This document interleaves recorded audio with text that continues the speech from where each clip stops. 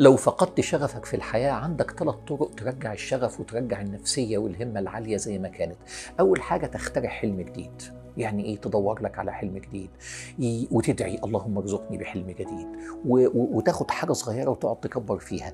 فتخترع حلم جديد لأن الإنسان بدون حلم لازم يفقد الشغف. طول ما أنت عندك حلم أنت عندك شغف في الحياة. دي الخطوة الأولى. الخطوة الثانية عايز تستعيد الشغف في الحياة ابدأ حط خطوات صغيرة علشان توصل للحلم اللي أنت اخترعته أو اللي أنت حطيته لنفسك. فتبدأ تقول هبدأ خطوات صغيرة. مش تقول هعمل كل حاجة في كل حاجة. يا عم مفيش حاجة اسمها كده إنما هبدا بالخطوة دي فتشعر بالثقة في النفس وتشعر بالسعادة إنك حققت خطوة فتندفع للخطوة اللي بعديها فتندفع للخطوة اللي بعديها. النقطة الثالثة والأخيرة الدعاء.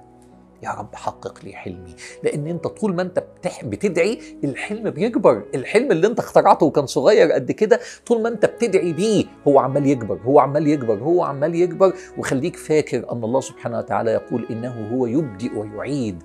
هو اللي ابتدى لك لما كان عندك شغف وحلم وهو اللي يقدر يعيد لك الشغف والحلم مرة أخرى. فبتدعي ربنا وأنت واثق إن أنت بدعائك يكبر الحلم في عقلك وربنا يدفعه في قلبك. دول ثلاث خطوات لاستعادة الشغف في الحياة.